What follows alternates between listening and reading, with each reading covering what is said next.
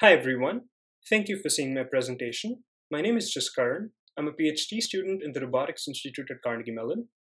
This presentation is on my paper called Why Does Symmetry Cause Deadlocks? So this is the outline of this presentation. We will revisit this slide every now and then, just to remind ourselves where we are. So what is the motivation of our work? Multi-robot systems have been used for many tasks, such as search and rescue, exploration, and coverage. Generally, the controllers on these robots are a combination of a task-based control and a collision avoidance mechanism. But this combination can prevent satisfaction of the original task due to constraints. Robots may stop moving to maintain safety, resulting in deadlocks, as has been noted in these works. So we wanted to formally investigate why do deadlocks occur, and this paper is an attempt to answer that question. I want to acknowledge that our analysis is based on the safe control algorithm developed by these authors. So the main contributions of our work are as follows. Firstly, we provide a mechanism to analyze long-term behavior of reactive optimization-based controllers. We focus on control barrier function-based quadratic programs, which have been very successful in ensuring safety for UAVs and legged robots. We demonstrate that when these controllers are used for collision avoidance and goal stabilization in multi-robot systems, they may cause deadlocks.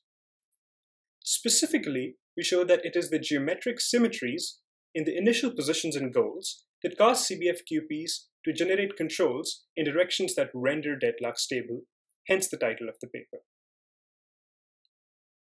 Alright, so let us now review some terminology from avoidance control and goal stabilization. So let's see the setup we have n robots in the plane.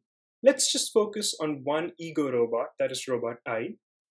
The problem is to find a control ui to make i reach its goal pdi while avoiding collisions with every other robot. We assume that all these robots are velocity controlled, so they follow single integrator dynamics. We also assume that there is a user prescribed nominal control for each robot, which is simply a proportional controller. Now, this control by itself guarantees exponential stabilization of each robot to its goal, but it does not guarantee that the resulting motions of the robots will be collision free. So, how do we pose that requirement? We need that the distance between any two robots be at least d sub s, where d sub s is a desired safety margin. So, we pose a pairwise safety index for robots i and j called h sub ij, and i and j are safe if and only if h sub ij is non negative. h sub ij is known as the control barrier function, that is a CBF. So as I said earlier, for i and j to be collision-free, we require that h sub ij to be non-negative. To ensure that it continues to be non-negative, we enforce this condition on the derivative of the safety index h sub ij. Ultimately, this condition gives us constraints on the controls of robots i and j respectively, and if the controllers of these robots satisfy this constraint, that will ensure that subsequent motions of the robots are collision-free. So we already had a nominal control for reaching a goal, and now we have a constraint to ensure safety. So how do we mediate between the two? The way to do that is to pose a quadratic program which minimizes the deviation from the prescribed nominal control UI cap subject to the safety constraint. So in the multi-robot system, each robot I will locally solve this QP for its optimal control UI star, which will ensure collision avoidance while creating as much motion towards the goal as possible. So going forward, this is what will be referred to as the CBF QP.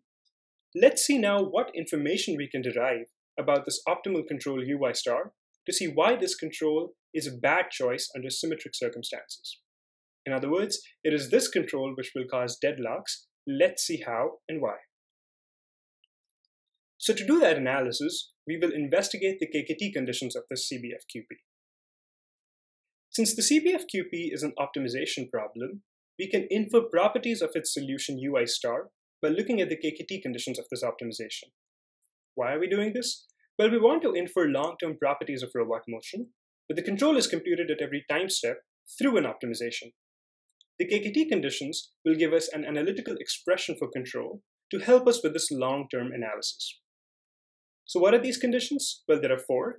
There's stationarity, which comes from setting the gradient of Lagrangian equal to zero. This primal feasibility, which is simply the feasibility of the constraints of the QP. Then there's dual feasibility and complementary slackness. Here mu sub ij are the Lagrange multipliers for the inequality constraints.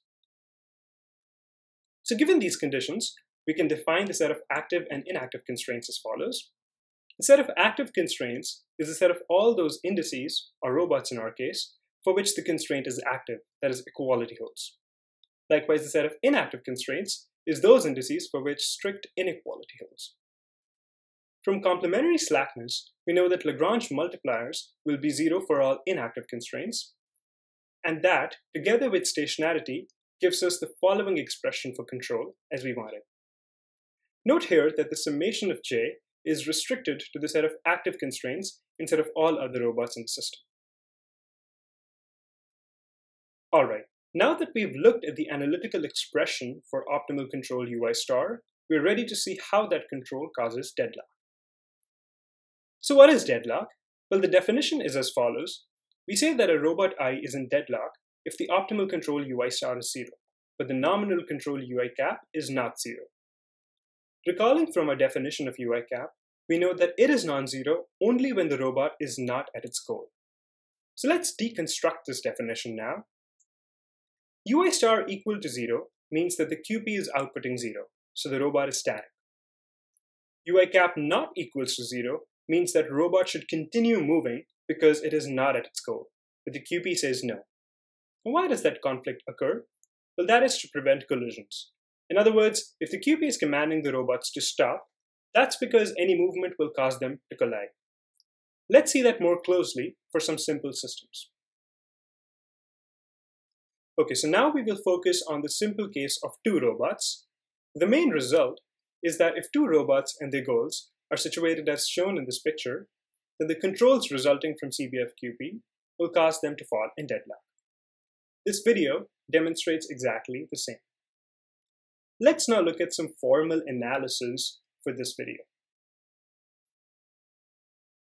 So the analysis for the motion of these two robots can be broken down into several sequential phases, which depend on whether the collision avoidance constraint of each robot is active or not. In the following discussion, when I say that a robot is worried about collision, it means that the corresponding collision avoidance constraint is active. So when the robots start at t equals to 0, they're far away from one another, so they are both not worried about collisions at this time. This constitutes phase 0. Then until time t1, they both continue to be not worried about collisions. This constitutes phase 1. Subsequently, robot 1 starts to worry while robot 2 is still moving as though there were no incoming robot. This constitutes phase 2. Eventually, both robots enter the worry zone which results in them falling in deadlock.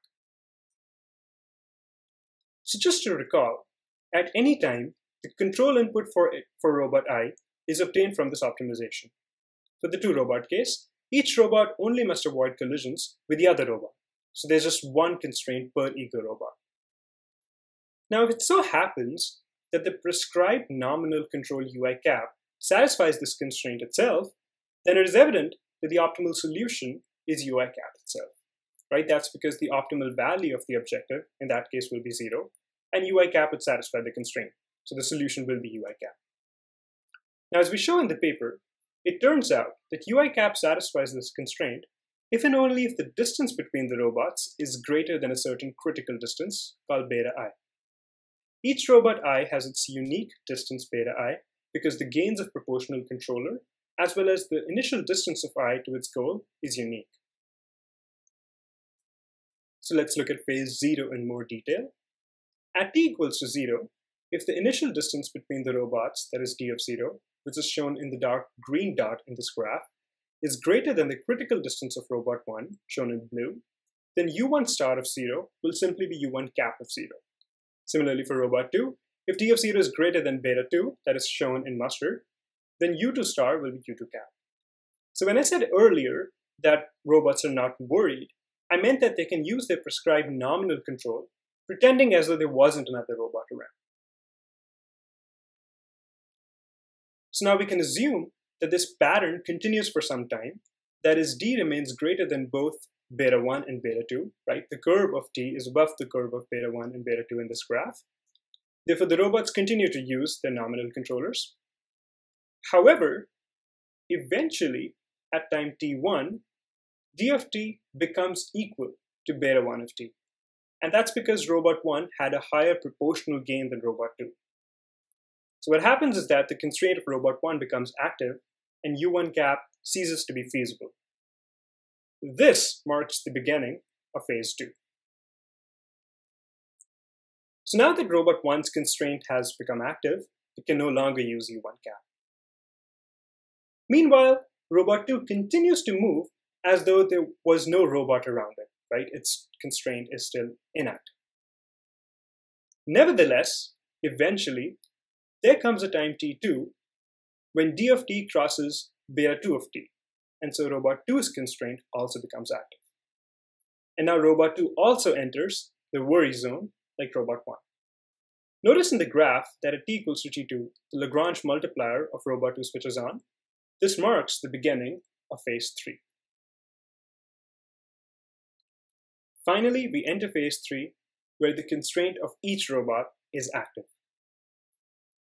We show in this paper that in this phase, the distance between robots exponentially converges to the safety margin d sub s, and because of that, the controls for each robot also converge to zero, which means that robots come to a stop and hence have fallen in deadlock. So this concludes the proof for the two robot system. Now let's look at the three robot system. So the main result is as follows. Given symmetric initial conditions and goals, as shown in this picture, the controls resulting from CBFQP result in deadlocks, as this animation shows. So unlike the two robot case, here we assume that all robots have identical proportional gains. And this video demonstrates how deadlock occurs. So let's see the proof. The proof can be divided into several sequential phases. When robots start at t equals to zero, they're far away from one another, so all of them are not worried about collisions at this time. This constitutes phase zero. Then for a finite duration until t1, they all continue to be not worried about collisions. This constitutes phase one. And subsequently, all robots simultaneously begin to worry and eventually fall in deadlock. This constitutes phase two. So now let's look at phase zero. In the three robot case, each robot has two collision avoidance constraints corresponding to its two neighbors. Now, because of the geometric symmetry that we assumed, if any robot's nominal control is feasible, then all robots' nominal controls are also feasible. And like the two robot case, feasibility of nominal control is equivalent to the inter-robot distance being greater than a certain critical distance. So we assume that at t equals to zero, the distance between robots is more than the critical distance, so that the optimal control for each robot is its nominal control itself. Again, we can assume that this pattern continues for a finite time. That is, the inter-robot distance d of t, that is the dark green curve, remains greater than the critical distance beta, that is the blue curve, so that all robots continue to use their nominal controllers, UI caps. But eventually, at time t1, d of t becomes equal to beta of t, that's when the collision avoidance constraints of all robots become active. Now, the interesting thing is that this happens simultaneously for all robots, and that's because of the geometric symmetry and identical proportional gains that we assumed. This marks the beginning of phase 2. Finally, robots enter phase 3, where all constraints of each robot are active the distance between robots exponentially converges to the safety margin d sub s, and the optimal controls converge to zero, which means that the robots come to a stop and hence have fallen in deadlock. With this, we have concluded the proof for the three robot case. All right, so let's see the summary of our work now. So in this paper, we analyzed long-term behavior of reactive optimization-based controllers using duality theory, and we demonstrated that it is the geometric symmetry in initial positions and goals that constrains CBFs to generate velocities that render deadlock stable. In future, we plan to extend this analysis to n-robot systems and consider symmetric and asymmetric configurations to reveal general scenarios that are prone to deadlock. We also plan to extend this analysis to other reactive control synthesis methods like velocity obstacles. And with that, I'd like to thank you for listening to my presentation. Please reach out to me for any questions, and the codes for the simulations and proofs are available on this link. Thank you.